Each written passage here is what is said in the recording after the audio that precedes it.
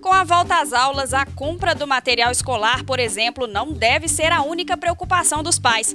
O peso da mochila que a criança está carregando também precisa ser observado. De acordo com a Academia Americana de Pediatria, o peso é importante ele variar entre 10 e 20% em relação ao peso corporal da criança.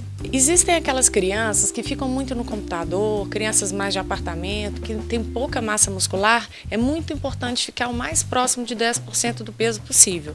Já aquela criança muito ativa, né, que faz muito esporte, tem mais um pouco de massa muscular, você pode até ousar um pouquinho e chegar a 20% do peso. A hora de reunir o material escolar novo é um momento de empolgação para muitas crianças. Tem mochila e caderno do personagem favorito, uma variedade de lápis de cor e canetinhas que muitas vezes não são necessários todos os dias na escola.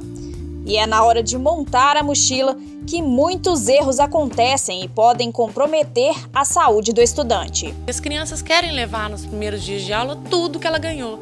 Então é muito importante é, os pais olharem, observarem muito bem quais são as matérias que elas têm no dia e colocar só o material do dia. É muito importante também evitar esses excessos e evitar brinquedos em excesso também dentro da mochila, que vai junto com a lancheira, então o peso sempre excede. Muitos pais, eles colocam a, o material de qualquer jeito ou até a própria criança coloca. A mochila muito pesada obriga a criança a fazer um esforço maior do que ela poderia suportar.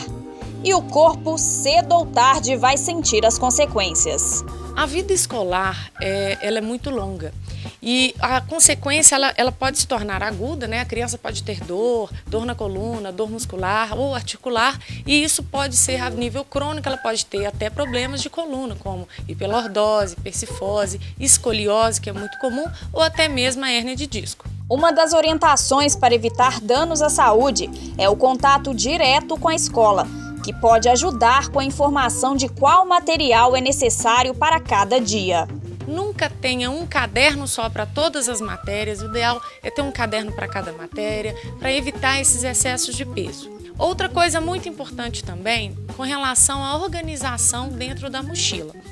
Sempre coloque próximo das costas os maiores livros e os mais pesados.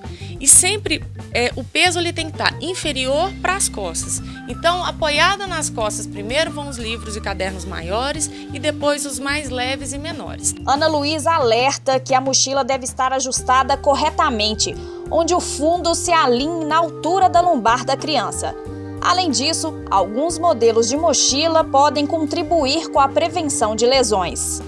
E é fundamental também crianças até 5, 6 anos usarem a mochila de rodinha.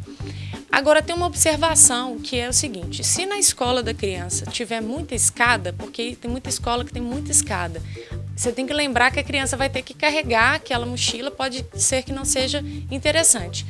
Hoje eu trouxe até um exemplo para vocês de uma mochila que ela tem rodinha e é a mochila de apoiar nas costas. A gente tem alguns tipos de mochila, é muito importante os pais observarem a largura das alças, se tem as duas alças para equilibrar o peso a, em relação à criança. Uma mochila de uma alça só ela não é interessante, uma vez que a criança às vezes segura de um lado só a mochila e isso pode causar uma escoliose no futuro e dar uma lesão, aí talvez até irreversível. São pequenas atitudes que podem fazer grande diferença para a vida das crianças e tornar a volta às aulas um momento ainda mais agradável e cheio de saúde.